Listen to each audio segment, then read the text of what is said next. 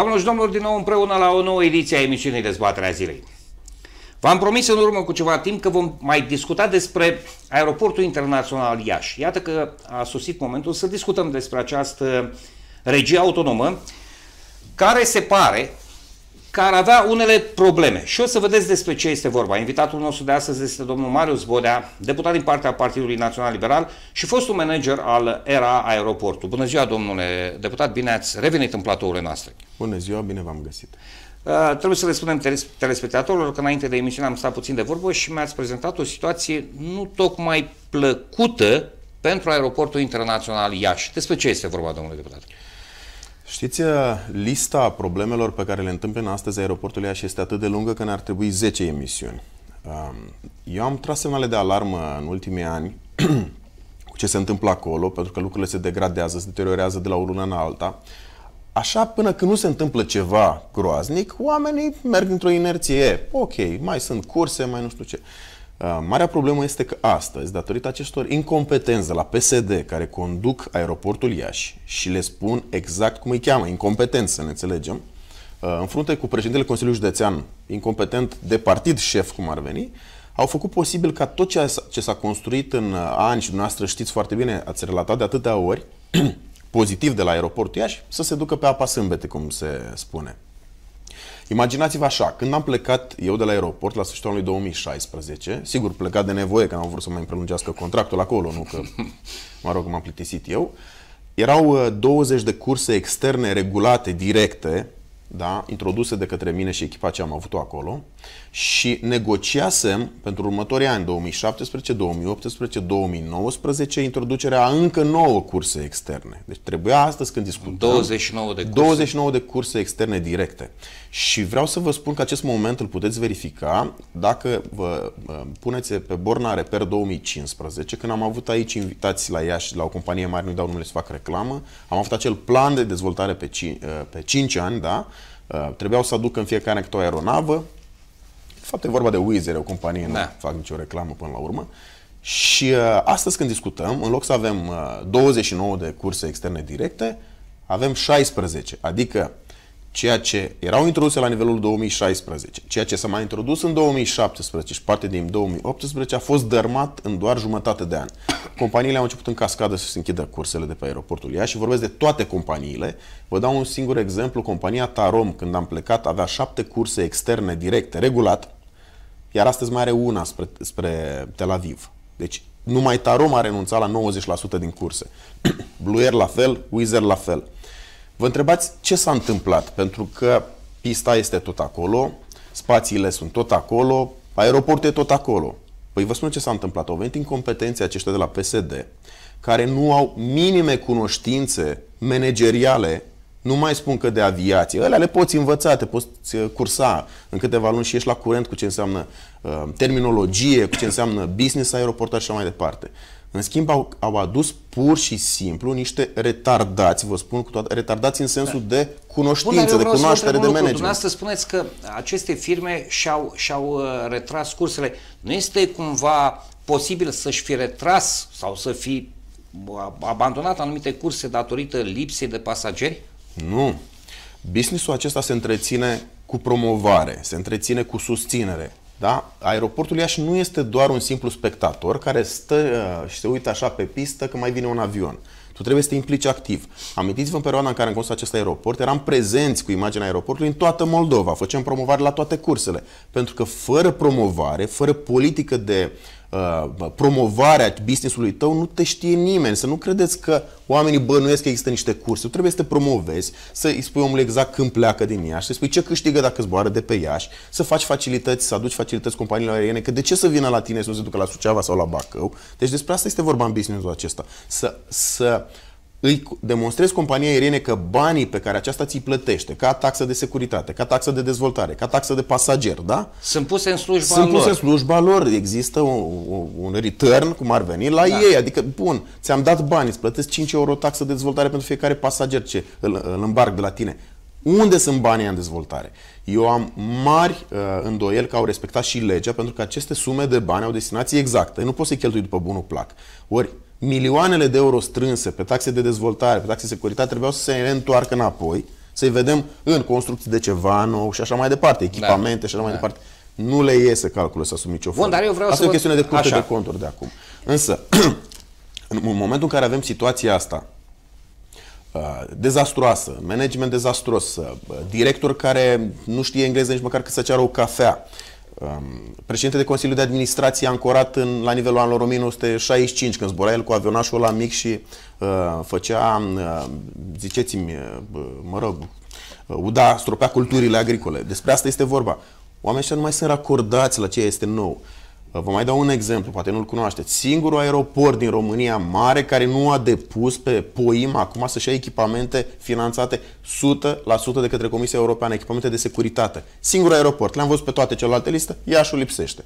Păi ne întrebăm de ce. În schimb, cheltuie bani din uh, banii proprii da? Pentru ca, astfel ca, de pentru echipamente. astfel de echipamente. Mă, ăștia sunt normal la cap, adică ai axă de finanțare, ești eligibil ca aeroport, pentru că chestiunile de securitate aeroportoare sunt impuse de legislație, de Corect, aceea sunt și corect. eligibile tot timpul la finanțare. Nu că vrea aeroportul, îți cere un normativ european apărut, îți cere un regulament european, îți cere ICAO, îți cere, mă rog, cine mai Toate instituțiile europene care, și da. tu trebuie să te racordezi. De aia politica de securitate aeroportară este susținută tot timpul de stat și de, de Comisia Europeană, de Corect. Uniunea Europeană.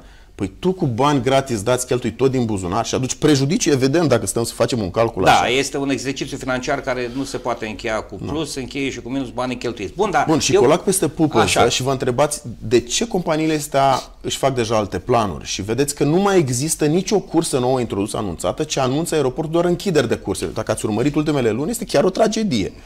Păi vă spun eu de ce. Companiile aeriene, aeriene au bază acolo și au făcut bază. Au oameni care stau tot timpul în legătură cu cei de acolo la aeroport, discută și așa mai departe. Și au aflat și ei ceea ce vă spun și eu poate în premieră, că este posibil ca una din, uh, uh, mă rog, unul din capetele de pistă, să spun, din culoare, din direcțiile de aterizare, de culoare mai corect spus, să fie închisă pentru că nu au gestionat corect problema construcțiilor ce se uh, întind acum uh, în zona Aroneanu, da? acolo oamenii respectivi n-au găsit înțelegere la aeroport, n-au găsit discuții, n-au găsit uh, forme de compensare pentru că tu ești proprietarul unui Stați teren. la că să le explicăm ieșenilor, pentru că dumneavoastră știți problema, dar ieșenii poate că nu înțeleg.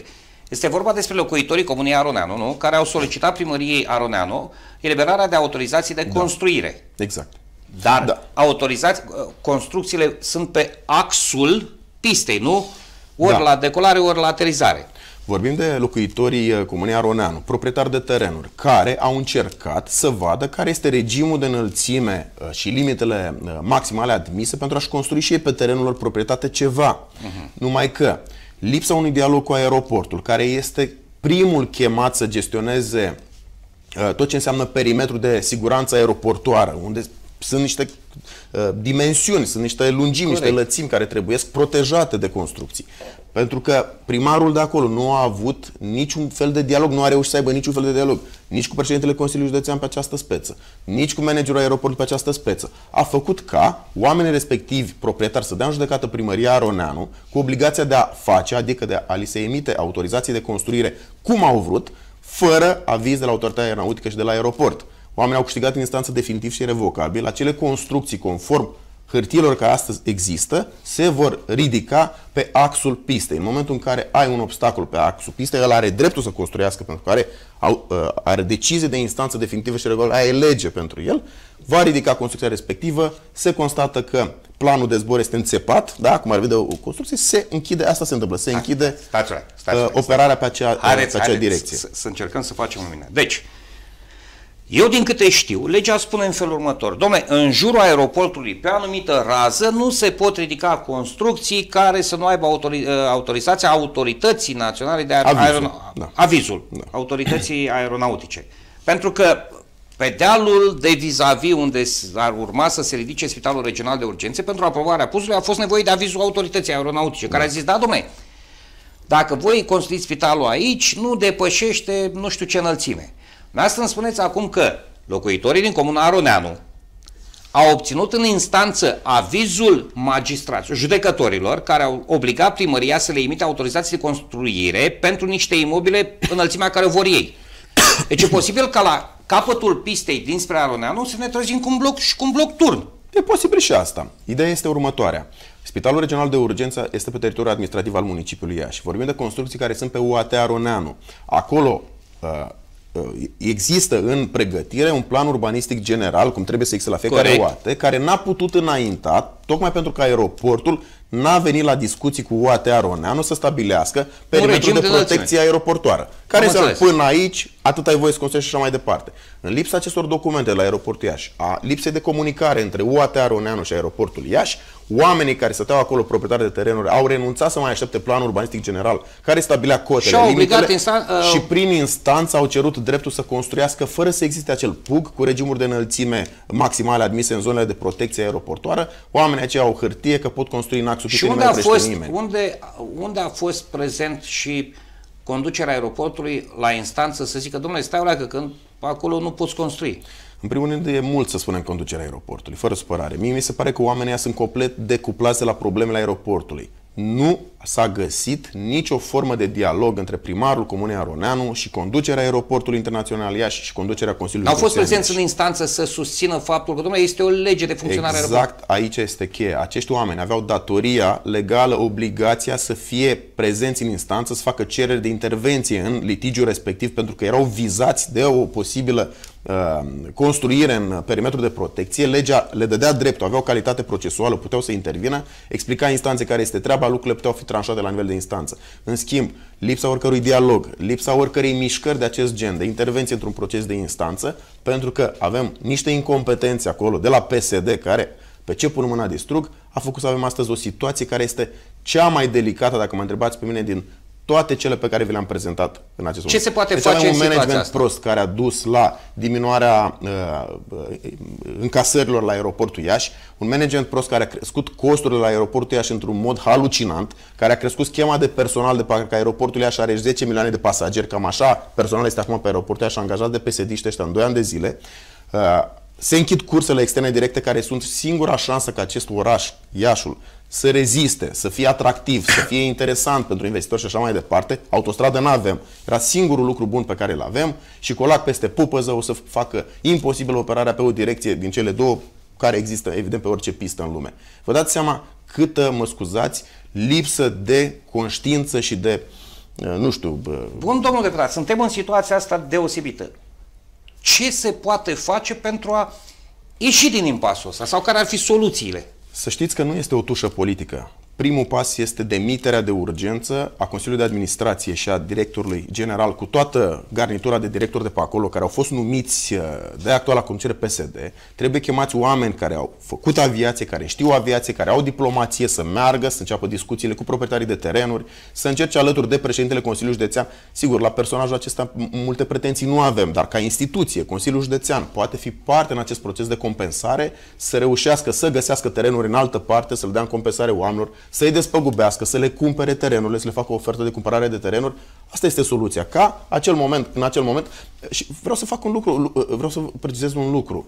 Aceste uh, compensări, aceste achiziții de terenuri s-au întâmplat și când am făcut proiectul mare de dezvoltare a aeroportului, aș pistă și așa mai departe. Amintiți-vă, am început din 2008 când eram eu prefect, discuții da. cu toți proprietarii de acolo și s-au finalizat prin despăgubiri, cum spune Sau legea. compensări au fost date? Da, au mai fost schimburi de schimburi terenuri și așa mai terenuri, departe. Da. Așa se face oriunde în lume când aeroportul trebuie să-și protejeze zona sa de operațiuni aeriene, cumpără, achiziționează, face, ofertează, nu reușește, atunci propune expropiere în, pentru Interes cauză de public. utilitate publică. Da. Și tot sunt soluții. Dar dacă ajungi în situația în care, încă o dată, omul își construiește uh, pe axul uh, pistei, deci pe, pe direcția principală de aterizare, un imobil, pune un obstacol, operațiunile se încheie în secunda 2, nu mai contează, trebuie să aștepți, eu știu, un an de zile cât durează o expropiere și cât uh, poate demolarea unui obiectiv care a devenit, care a devenit obstacol în, în uh, ce privește operațiunile aeroportoare.